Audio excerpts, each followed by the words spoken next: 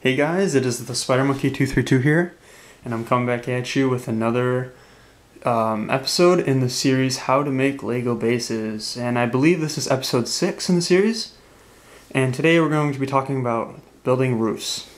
So let's just get right into it. As you can see here, I have built um, just a simple design of a, a very, very, very simple base. And what we're doing today is uh, making a roof to put on this. So as you can see, this is like a type of base um, that I covered in episode one. So, you know, just go check that out if you're not familiar with this. You know, you just stack up bricks on top of each other and then put tiles on here. This is the next step is the putting tiles. So, you know, just simple tiles. You want to put it all along the top to create a nice flat smooth surface. And next you're going to want to take a bunch of plates. It doesn't really matter what size they are. But you're going to want to take a bunch of them and kind of connect them together. And after a couple minutes, you'll, I mean, this is just very, um, I guess, uh, crude design, but you'll come up with something like this. You know, I just added in some extra detailing and also keep in mind that this is mainly Star Wars bases that I'm going to be covering rather than like, uh, let's say Lego City or something like that. We're going to be covering the sci-fi kind of bases. So this is what I came up with. Just add some extra detail. So you know, the flat tiles is so you can just basically set it on there. Now what you're also going to want to do is on the bottom, you're going to want to put plates and kind of just stick them on into the four corners or whatever your, your dimensions are so that when this sticks on there this acts like a little bumper and it keeps it from moving. So it's just it's nice and firm on there it's stuck. Which you know so you don't accidentally slide it off. You can just kind of pull it on and off which is helpful. So that's basically one of the main ways to add a roof you know and then you can add different designs on the top like I did here or whatever. You know you can expand this more out and both ways one way you know whatever you want to do. It's the beauty of this. So I'm just giving you some tips on the roofs. So that's the first way to do it for just a standard you know block kind of base. Now the next one that we have is for the curves so in the first curving video that I did, I think it was last episode, so episode 5 that I did was on curving. So if you want to go check that out, I'll try to put a link either on the screen or in the description so that you can go check that out on how to do it.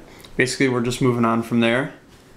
And as you can see, I got like the, the curve on there and then the tiles. Now the only new thing that we're adding is we're adding tiles on the top. So you're going to add little one by two flat tiles on each of these things all the way around. And then as on as well on, on the rest of the base. So right here, if you want to keep doing it, that'd be great. But I, it doesn't really matter because this is just uh, demonstration purposes. I'm not trying to make it look perfect or anything. Just kind of showing you what it, kind of how it works. So got tiles right here just to kind of set on the thing or the, I guess the roof. Now, as you can probably see, since the, we have a curve, it's kind of hard to just set plates on because you don't have a great curve. I mean, some plates you do, but it's going to be kind of hard to do that. So you have to use a, a technique called SNOT, which is just an acronym for studs not on top. And basically, it is just putting the bricks on their side. So I put something together, just something very little, slight, nothing too great, nothing too big, but here it is. Now, as you can see, there's it's just hollowed out. I could have kept building inside, but for demonstration purposes, I just left it alone. So as you can see, I put on a bunch of bricks on their side, so it's like this. Normally, just stand up, but then you flip it over on its side, so you can kind of just rest it on there like so. And then I had to use some slopes to kind of curve with the base. Now, as you can see, this doesn't look the best. It, it kind of goes with it, but it's not the best I could have done. But um, you just want to basically play around with it and try to get your slopes to kind of go with the base, you know. You might need to take something off here and add in like a more steep of a slope or less steep to kind of fit the curve of the base. And then obviously you're going to want to fill in this so that it's nice and compact and it'll fit nicely, you know. And you can start adding on other stuff on top of it, like what I, with what I did here on top of that, which would look nice with your curved bases. So, yep, just wanted to cover that.